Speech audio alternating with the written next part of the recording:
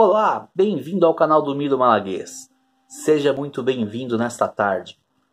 Queridos, eu tenho uma palavra, um estudo que vai abençoar a sua vida. Eu gostaria que tu já abrisse a sua Bíblia no Salmo 126.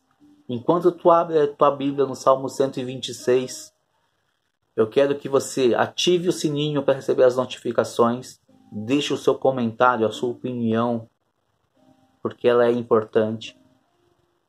Se inscreva no nosso canal e deixe seu like, que é poderoso para fortalecer e fazer que essa mensagem de esperança e fé chegue ao coração de muitos que precisam ouvir e ter a sua vida transformada pelo poder de Deus. E logo mais, às 8 horas da noite, eu estarei fazendo uma live de oração e nós vamos orar. Nós vamos orar pelos pedidos de oração. Então envie, envia o teu pedido. Às 8 horas de hoje, nós estaremos clamando ao Senhor e Ele vai mudar a sorte da nossa vida. Então, se você achou aí o Salmo 126, Diz assim a palavra do nosso Deus: Quando o Senhor restaurou a sorte de Sião, ficamos com quem sonha. Então a nossa boca se encheu de riso e a nossa língua de júbilo.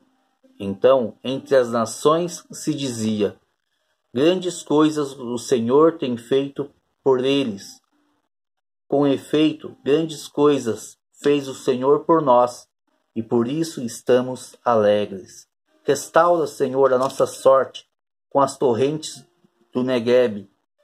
Os que com lágrimas semeiam, com júbilo ceifarão. Quem sai andando e chorando enquanto semeia, voltará com júbilo, trazendo os seus feixes. Que salmo maravilhoso, queridos. Muitas vezes nós temos enfrentado situações na nossa vida que tem feito nós chorarmos angustiados. E esse é um ano bem propício para isso. Quem sabe você já está aí falando. Miro Malaguês, ei, ei, basta. Cansei, tô cansado. Eu não vejo a hora de terminar 2020 para entrar 2021, para que venha um novo ano, venha uma nova vida, venha tudo novo. Queridos, não entregue os pontos não hastie a sua bandeira branca, entregando. O ano ainda não acabou. Aquilo que Deus tem para fazer na sua vida ainda não acabou. Oh, aleluias! Porque Deus tem visto o teu clamor, Deus tem visto o teu choro, Deus tem visto, tem visto a luta que tu tá passando, a peleia, a guerra. Mas não esqueça que tem um Deus que é poderoso, um Deus grande, vitorioso que vai mudar a sorte da tua vida. Então, em primeiro lugar, Deus vai transformar a nossa tristeza em alegria. Ele tem visto, querido, o teu choro pela tua casa, pela tua família, pelo teu filho, pelo teu esposo, pela tua esposa, pela tua mãe, né? Aquilo que vocês têm passado, Deus tem visto o teu choro e ele vai transformar a tristeza em alegria. Em segundo, Deus vai mudar a nossa sorte. Isso que nós estamos passando, Deus vai mudar. Deus vai dar a cura para essa situação que nós estamos passando.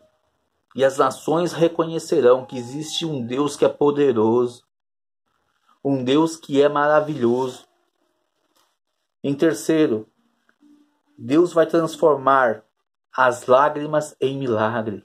Queridos, Ele tem encolhido as suas lágrimas, Ele tem ouvido o teu clamor e Ele vai transformar essa situação em milagres.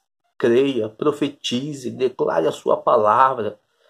Em quarto, Deus vai nos dar grandes livramentos. Queridos, nosso Deus é um Deus de livramentos. Ainda que não há saída para nós.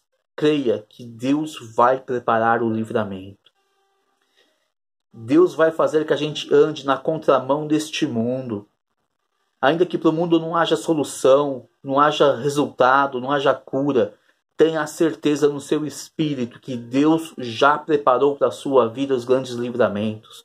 E, e até o final de 2020, tenha certeza que tu e eu viveremos as grandes promessas que Deus tem para a nossa vida.